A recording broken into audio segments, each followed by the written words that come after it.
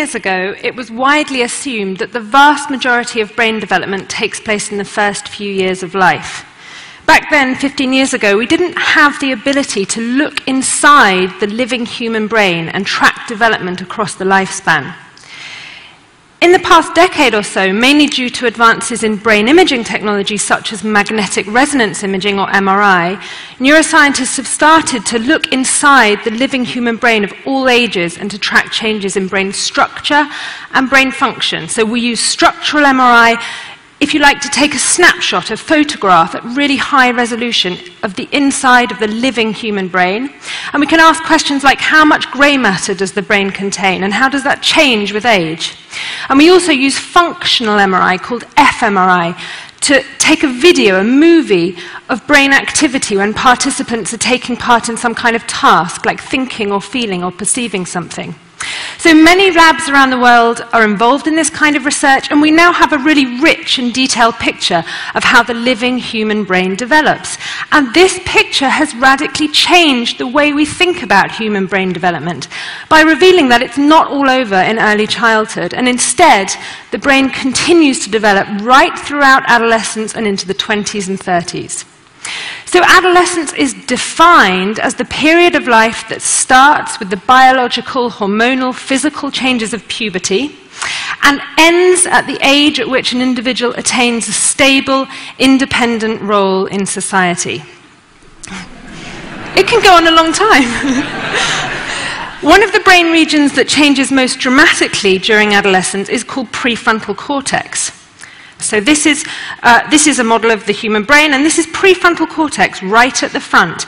Prefrontal cortex is an interesting brain area. It's proportionally much bigger in humans than in any other species, and it's involved in a whole range of uh, high level cognitive functions, things like decision making, planning, planning what you're going to do tomorrow or next week or next year, inhibiting inappropriate behavior, so stopping yourself saying something really rude or doing something really stupid.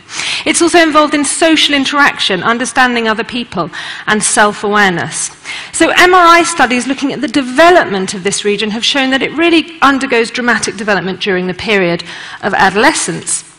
So if you look at grey matter volume, for example, grey matter volume across age from age 4 to 22 years increases during childhood, which is what you can see on this graph.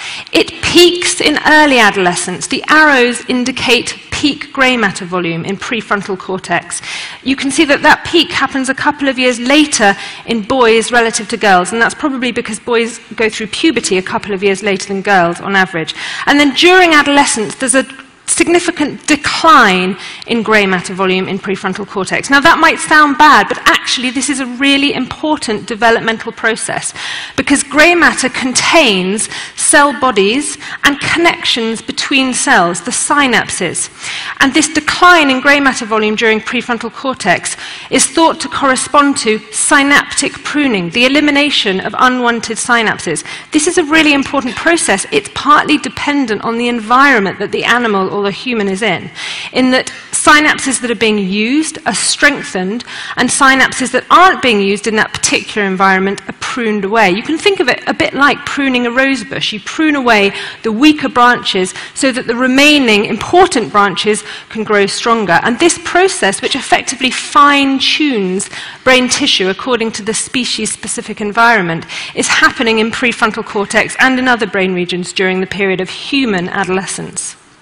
So we, we sometimes um, laugh about teenagers. We, they're parodied, sometimes even demonized in the media for their kind of typical teenage behavior. They take risks, they're sometimes moody, they're very self conscious. I have a really nice anecdote from a friend of mine who said that the thing he noticed most about his teenage daughters before and after puberty was their level of embarrassment in front of him. So he said, before puberty, if my two daughters were messing around in a shop, I'd say, hey, stop messing around and I'll sing your favorite song. And instantly they'd stop messing around and he'd sing their favorite song. After puberty, that became the threat. the very notion of their dad singing in public was enough to make them behave. So, for example, take risk taking. We know that adolescents have a tendency to take risks. They do. They take more risks than children or adults, and they are particularly prone to taking risks when they're with their friends. There's an important drive to become independent from one's parents and to impress one's friends in adolescence.